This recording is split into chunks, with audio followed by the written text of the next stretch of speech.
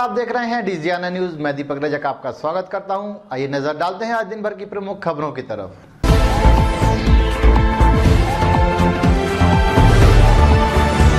गुना ज़िले के मकसूदनगढ़ मार्ग पर आज दोपहर एक निजी यात्री बस अनियंत्रित होकर पलट गई, जिसमें मौके पर एक महिला की मृत्यु हो गई, जबकि पंद्रह यात्री घायल हो गए। तीन यात्रियों की हालत नाजुक बताई जा रही है। घायलों को मकसूदनगढ़ राधोगढ़ के प्राथमिक स्वास्थ्य केंद्र के शासकीय अस्पताल में उपचार के लिए दाखिल कराया गया है। अतिरिक्त पुलिस अधीक्षक सत्येंद्र सिंह तोमर ने बताया कि आज तकरीबन 12 बजे के बाद गुना मकसूदनगढ़ मार्ग पर ग्राम तोड़दा के निकट यात्रियों से भरी bus M P zero eight P zero one nine zero चालक की लापरवाही से अनियंत्रित होकर पलट गई, जिसमें यात्री बस में सवार मकसूदनगढ़ निवासी धापू धापूबाई साठ वर्ष की मौके पर ही मौत हो गई, जबकि एक दर्जन से अधिक यात्री घायल हो गए। सड़क दुर्घटना में मृतकों की संख्या बढ़ने की संभावना है, लेकिन पुलिस ने आधिकारिक स्तर पर सिर्फ़ एक मौत की पुष्टि की है। पुलिस ने दुर्घटना के बाद यात्री बस के चालक के विरुद्ध अपराध पंजीबद्ध किया है।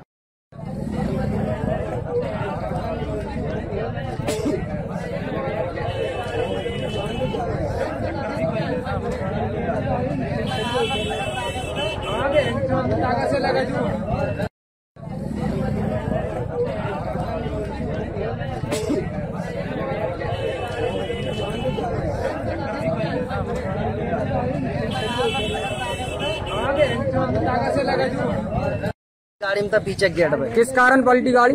ये मतलब यहाँ से स्पीड से गाड़ी आ रही थी पेट्रोल पंप से कम पे कम से कम दस मिनट लगे थे डीजल डालवाने में हाँ। वहाँ से स्पीड से लेके आया था गाड़ी लेट हो गई थी। तो गाड़ी तेज रफ्तार से आ रही। वहीं ग्रामीणों ने दुर्घटना और रोड को लेकर चक्का जाम कर दिया है।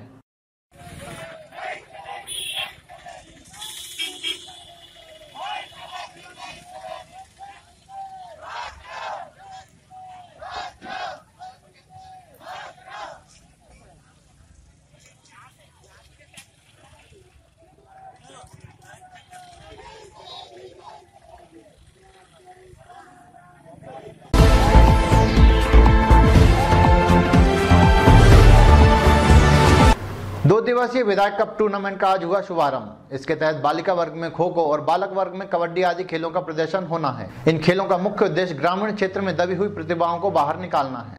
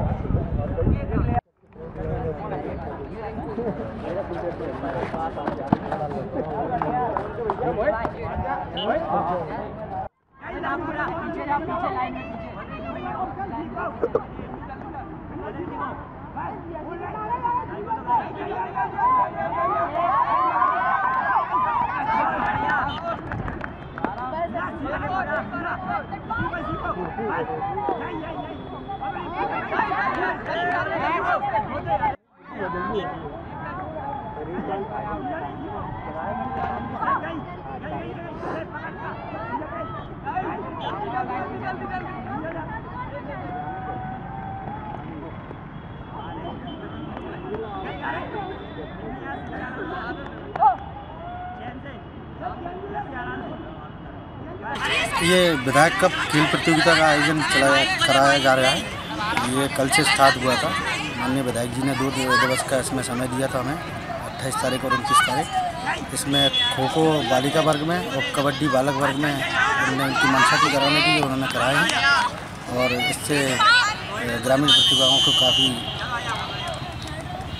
स्तर का खेल खेलने को मिलेगा। और इसी मंशा से हम इसको संपन्न करा रहे हैं। और इसका समापन भी है शाम को चार बजे। जिसमें माननीय विधायक महोदय जो हमारे विभाग से ट्रॉफियाँ दी गई हैं, वो खिलाड़ियों को वितरित करेंगे।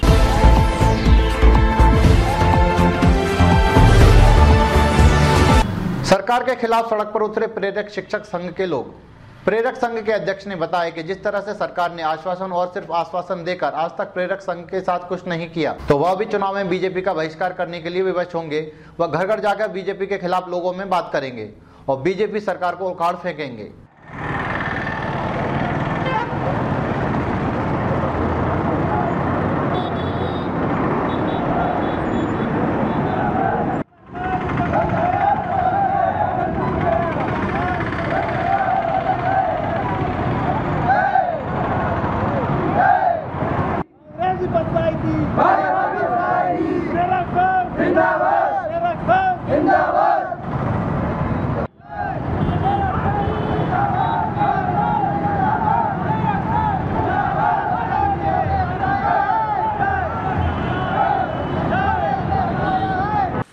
मुरैना ज़िले का प्रेरक शिक्षक संघ पूरा एकत्र हुआ है और आज हम सब लोगों ने कसम खाई है कि बीजेपी सरकार ने हमको झूठे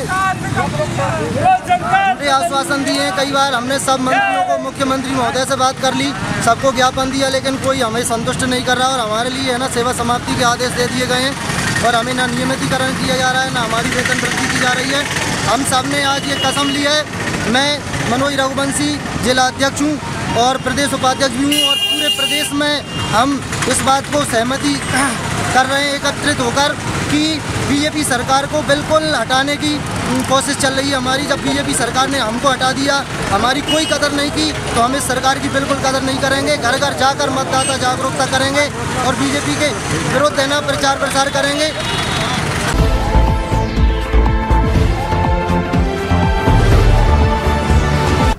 उत्कृष्ट विद्यालय में संपन्न हुआ प्रेरणा संवाद। इस संवाद के तहत जिला कलेक्टर राजेश जैन ने दसवीं और ग्यारहवीं के छात्रों को संबोधित करते हुए सरकार की नीतियों के बारे में बताया। सरकार किस तरह से बच्चों के लिए महत्वाकांक्षी योजनाएँ लेकर आ रही है, इसके बारे में विस्तार से कलेक्टर राजेश जैन ने सभी छात्रों को बताया, जिसमें मुख्य रूप से लैपटॉप वितरण योजना के तहत किस तरह से छात्रों को लाभ मिलेगा, यह था.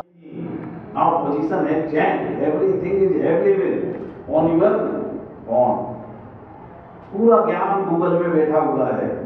पहले लोग नोट्स बनाते थे लाइब्रेरियों उसको टारगेट बनाइए। तो उसके अनुसार प्रयास करना पड़ेंगे। आईआईटी में निकलना है, मेरे को चंद्रमा पे जाना है, मेरे को। लेकिन साइकिल पे तो नहीं चल पाऊँगा। क्योंकि आपको कम तो उस हिसाब के प्रयास करना पड़ेंगे। हमें ठीक है ना? तो ये नहीं कि यार सो रहे हैं फिर चल रहा है हमारा काम। रिपीट है।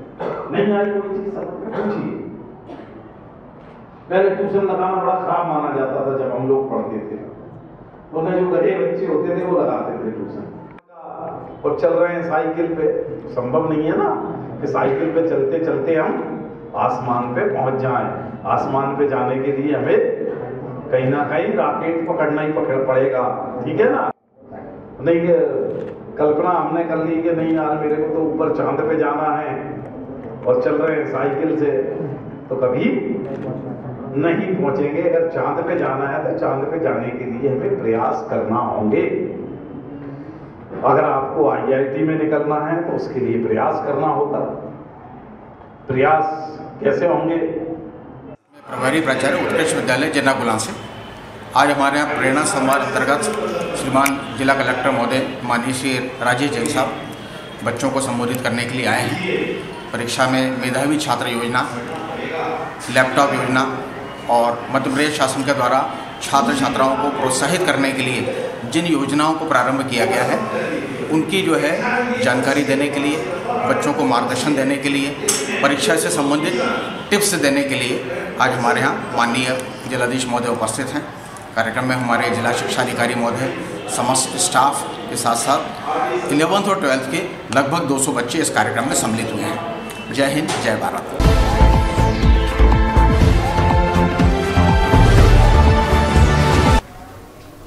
पाँच फरवरी को होने जा रहे राष्ट्रीय उपलब्धि सर्वे के तहत हाई स्कूल में छात्र छात्राओं की उपलब्धियों का सर्वे किया जाएगा जिसके तहत 11 विभिन्न स्कूलों को चयनित किया गया है। यहाँ पर छात्र छात्राओं की उपलब्धियों को चिन्हित कर उसका सर्वे किया जाएगा। ए और बी बने हुए यदि कक्षा में एक ही सेक्शन हो तो एक से ज़्यादा हो तो। अगर मान लीजिए दो सेक्शन हो तो ऊपर वाला नहीं भरेंगे। स्पष्ट लिखा हुआ है ना। यदि टोटल छात्र में आएँगे। टोटल छात्र दस कक्षा टोटल विद्यालय की संख्या विद्यार्थियों की संख्या जिन्होंने टेस्ट दिया पैंतालीस से ज़्यादा हो नहीं सकते ये उपस्थित विद्यार्थी संख्या पैंतालीस में से मान लो तीन ने दिया तो बयालीस आएगा इसमें ठीक है ना? तीन अपन उठा के लाते हैं कॉपी तो वो आएगा। फिर इसके बाद आता है कक्षा दस में कुल सेक्शन छह आठ या दस में वो आ जाएगा। चयनित सेक्शन का नाम यदि कक्षा में एक से अधिक सेक्शन तो भरा जाएगा सेक्शन के नंबर में क्यों कक्षा दस में। बताइए क्या कार्यक्रम है? पूरे देश में पाँच फरवरी को नेशनल अचीवमेंट सर्वे, यानी राष्ट्रीय उपलब्धि सर्वेक्षण आयोजित किया जा रहा है हाई स्कूल कक्षाओं के लिए। इसके माध्यम से हाई स्कूल यानी कक्षा 10 में पढ़ने वाले, चाहे वो शासकीय विद्यालय हों चाहे प्राइवेट स्कूल हों सबकी विभिन्न शैक्षणिक एवं अन्य उपलब्धियों के बारे में राष्ट्रव्यापी सर्वे किया जा रहा है, जिसके क्रम में ज़िले में 80 विद्यालय चयनित हुए हैं, जिसमें इकतालीस विद्यालय शासकीय हैं तथा उनचालीस विद्यालय अशासकीय विद्यालय हैं। इन सभी विद्यालयों के प्राचार्यों का आज उन्मुखीकरण का कार्यक्रम चल रहा है ताकि ये पाँच फरवरी को बहुत अच्छे तरीके से अपने स्कूल में इस सर्वे के कार्य को संपन्न करा सकें।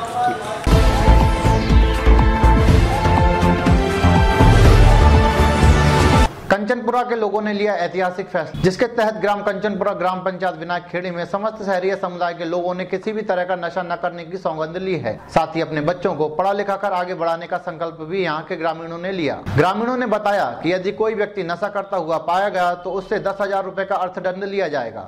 साथ ही जो व्यक्ति अपने बच्चों को नहीं पढ़ाएगा, वह स्कूल नहीं भेजेगा। उस पर पाँच सौ रुपए का जुर्माना रखा जाएगा। अब देखना यह होगा कि समुदाय के लोगों की पहल के बाद वाकई में जो इन्होंने सोचा है, वह कर पाएँगे।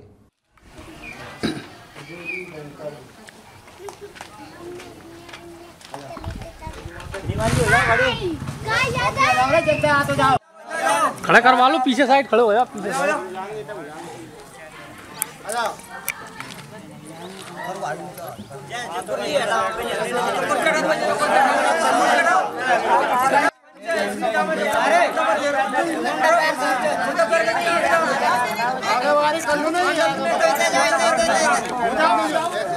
हाँ कर लो, ऐसे कर लो, ऐसे कर लो।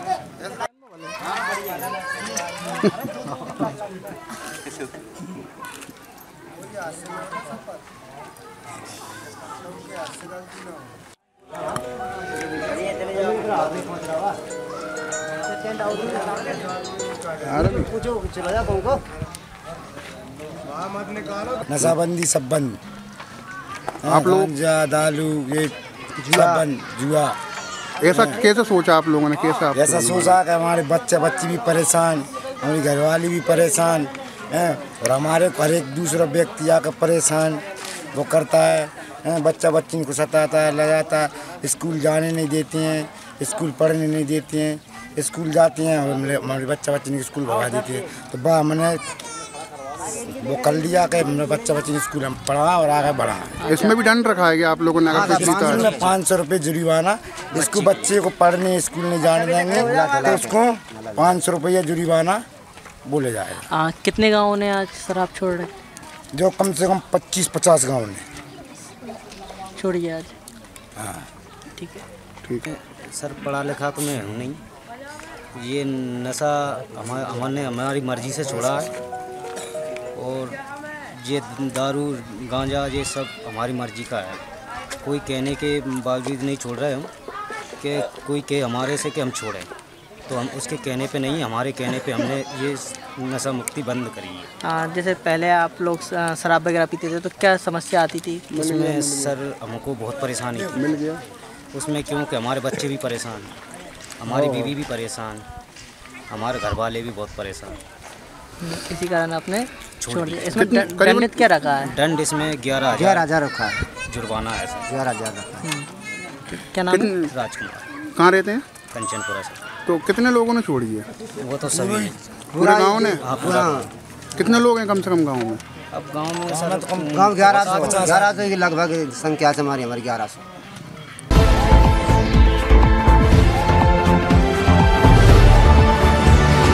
धाननखेड़ी में इन दिनों चल रही श्रीमद भागवत कथा। इस भागवत कथा में धानन खेड़ी ही नहीं, बल्कि आसपास के गाँव के लोग भी आ रहे हैं व धर्म लाभ ले रहे हैं। यह कथा 24 तारीख से लेकर 30 तारीख तक जारी रहेगी और 30 तारीख को पूर्ण अवधि के साथ इसका समापन होगा।